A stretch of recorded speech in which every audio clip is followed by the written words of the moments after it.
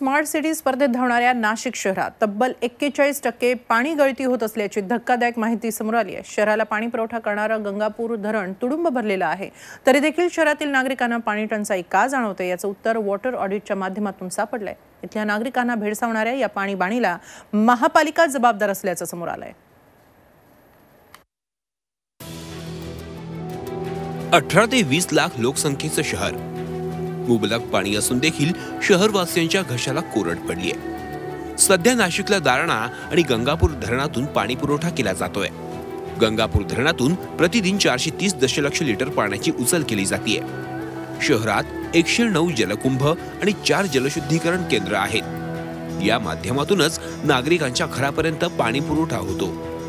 याच वितरण व्यवस्थेत तब्बल एक्केचाळीस टक्के गळती आढळून आली आहे एका खासगी संस्थेनं केलेल्या सर्वेक्षणात ही माहिती समोर आली आहे. दहा पंधरा टक्क्यापर्यंत गळती असली पाहिजे. कारण बरीचशी मशिनरी आपण नवीन बसवलेली आहे. पाण्याच्या लाईनसुद्धा आपण नवीन टाकलेल्या आहे त्याच्यामुळे ही गळती थांबवण्यासाठी जास्तीत जास्त मोठ्या प्रमाणात अनऑथराईज कनेक्शन जे आहेत ते सुद्धा शोधण्याची मोहीम तातडीने घेऊन आणि ही गळती कमी करण्याचा निश्चित महापालिकेतर्फे प्रयत्न केला जाईल. जुन्या झालेल्या जलवाहिन्या जीर्ण जलकुंभ जलशुद्धीकरण केंद्र अशा सर्वच टप्प्यात ही गळती असल्याचं समोर आलंय. नाशिककरांवर जेव्हा जेव्हा घरपट्टी पाणीपट्टी लादण्याचा निर्णय घेण्यात येतो तेव्हा तेव्हा पाणी पुरवठा दरम्यानची गळती थांबवण्याची मागणी केली जाते मात्र पालिका प्रशासन या मागणीकडे दुर्लक्ष करत असल्यानं नागरिक आक्रमक झालेत. नाशिकमध्ये स्मार्ट सिटी म्हणून जो गवगवा चालू कोट्यवधी रुपये खर्च चालू. पण आज बघायला गेलं तुम्ही प्रकार सर्व प्रकारची माहिती घेतली. ते एक्केचाळीस बेचाळीस टक्के नाशिकमध्ये पाणी कपात होती पाणी गळती होती. नाशिकचा काही सुडकोतला भाग असेल सातपूरचा काही भाग असेल काही जुना नाशिकीतला भाग असेल तिथे एकदम कमी दाबाने पाणी येते.